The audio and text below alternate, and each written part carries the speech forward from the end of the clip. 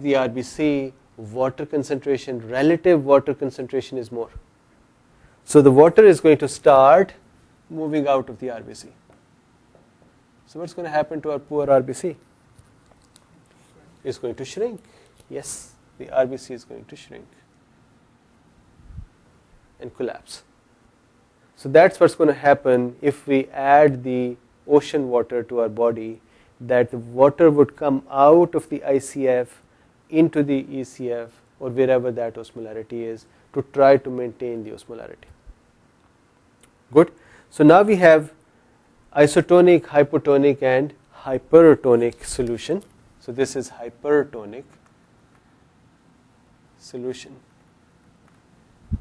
And there we actually administer these solutions in the hospitals depending upon the situation the patient has come into. If you just want to increase the patient's extracellular fluid volume, for example, you are trying to maintain the blood pressure of a patient, give him isotonic solution. Isotonic solution would immediately sit in the extracellular fluid and increase the volume. Now we have to understand one concept, I think we know that but I just want to make sure that we understand it. If you add fluid to the to any of the compartments and that fluid has the same osmolarity as the remaining fluid that is isotonic fluid then it will not the water will not move from one compartment to the other. So what does that mean? What that means is if I added 5 liters, if I added 5 liters of isotonic solution. Isotonic solution will mean what? The concentration, the solute concentration in here is the same as the remaining. So that would mean 280 milliosmol per liter concentration. No water concentration will change if the water concentration did not change, do you think water will move in either direction? No. So net water movement is going to be zero. Why do I say the net water movement? This is a semi-permeable membrane. Water molecules have kinetic energy in them. So they are moving in and out of the cells all the time. But they would not just move to from one compartment to the other and sit there because of the osmolarity changes they're going to move in and one if one molecule moves into the ICF another molecule is coming out of the ICF as well so the net water movement is going to be zero so this is very very important. So let's say you've got a patient who's come to you with hemorrhage. His blood pressure is going down. What are you trying you're going to do? You're going to restore the volume. Well it really depends. Nowadays we are much more sophisticated than just to restore the volume but restoring the volume is a very important thing. So you give him isotonic saline. That would start bringing his blood pressure back to normal. Then you see what kind of a damage he's gotten what kind of a deficiency he's, he has and then you start restoring that efficiency. but just to bring the blood pressure back up so that the kidneys start don't start going into the uh, uh, necrosis or ischemia and similarly the uh, other tissues and viscera are okay and perfused correctly you provide the isotonic solution. Now if I give someone same someone the 5 liter of hypotonic solution then what's going to happen? So let's see I'm going to clear up this diagram a little bit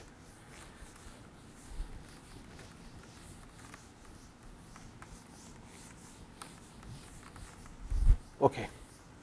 So let's say now be very careful. So x axis is our volume. So let's say this is 0 and from here to here is extracellular fluid volume. And from here to here is intracellular fluid volume. So 70 kilogram normal. So this would be 28 liters from here to here 28 liters and this will be 14 liters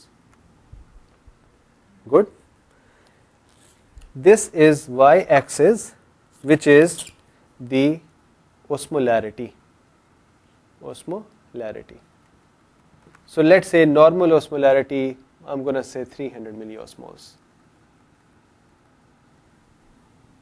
So that is 300 milliosmol osmolarity.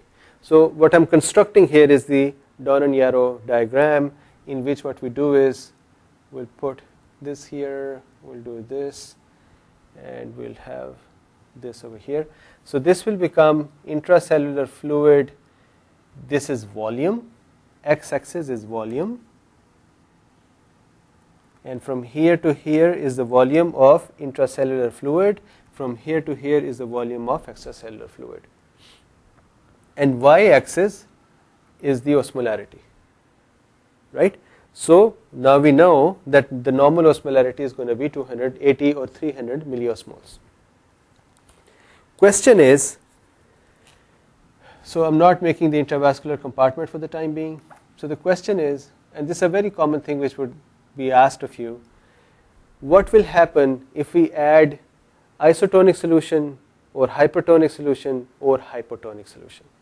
Or what would happen due to any pathological condition or a physiological condition where we have either fluid loss or fluid gain and then how would that react. So let us look at some of the uh, physiological situations where we alter the ECF and then we see what happens to the ICF. So first situation what I want to do is I want to say that the person is vomiting.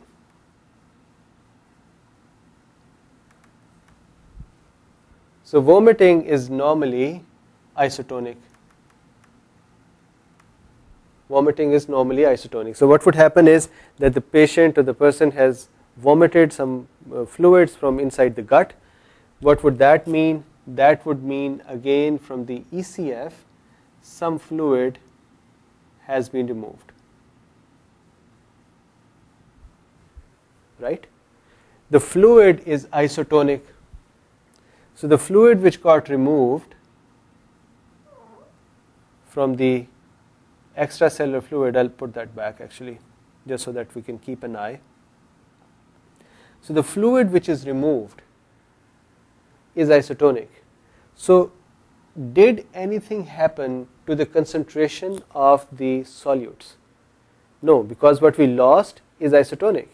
So solute concentration is still the same. So the osmolarity here is still 280 milliosmoles or 300. We are using 300 in our example now. So 300 milliosmoles. So osmolarity did not change. The fluid volume changed. Will anything happen to the ECF? Uh, sorry, ICF? No.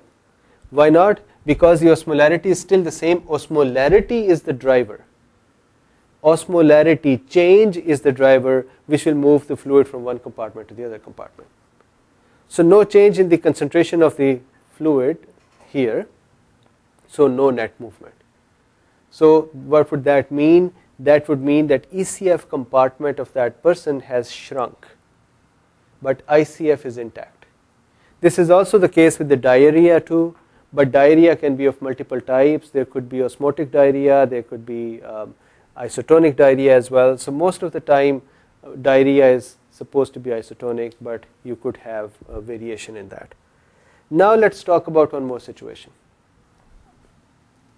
So what I'm going to do is I'm going to put a diagram here. This was a normal 28, 14, 300 milliosmoles and what we got was in case of vomiting and diarrhea we lost isotonic solution. Osmolarity stayed the same. So the end result was that if I make this dotted line over here extracellular fluid compartment volume shrunk. Intracellular fluid compartment did not change at all because there is no change in the concentration. Osmolarity stayed the same 2, 300, 300. That is the situation with the uh, diarrhea and vomiting. Now, can we try to assess what happened to the water? Water was lost. So, is it a dehydration or overhydration? This is dehydration, right? So, can I say that this is iso, so listen carefully, isoosmotic